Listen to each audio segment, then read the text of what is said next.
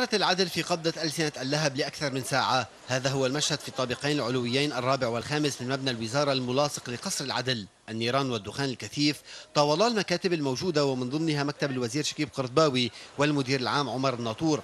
وقد احتجز الموظفون في مكاتبهم ما استدعى إحضار فوج إطفاء بيروت أربعة سلالم آلية لإجلاء المحتجزين الذين نقلوا إلى الخارج بعد أن حصرتهم النيران.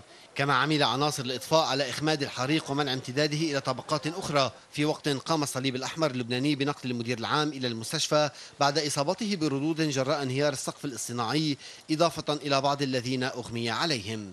وصلنا لهون الحمد لله قدرنا ننقذ حوالي 8 أشخاص أصيبوا بحالات إغماء. تم استخدام يمكن وسائل تقنيات جديدة يمكن بعملية الإطفاء اليوم. مزبوط نحن استخدمنا سيارتين سلم آلي آه، يعني grande échelle هذا بيقولوا له آه، بعلو 55 متر. وهذا تقريبا للمرة الأولى اللي نحن بنستعمل هيك معدات اللي وصلت مؤخرا. وعلى الأثر انتقل الوزير قرطباوي إلى الوزارة لمعاينة المكان واستمع إلى تقرير أولي من قائد شرطة بيروت العميد ديب طبيلي الذي وضعه بصورة ما هو حاصل قبل أن يصل قاضي التحقيق الأولي فادي عقيقي الذي كلفه مفوض الحكومة لدى المحكمة العسكرية إجراء التحقيقات اللازمة لمعرفة أسباب الحريق. وعلمت الان تي في أنه تم العثور على كمية من البودرة البيضاء في الطابق الأرضي وهي تخضع لفحوصات ومعاينة من قبل الخبراء الذين لم يستبعدوا أن يكون سبب الحريق احتكاك كهربائي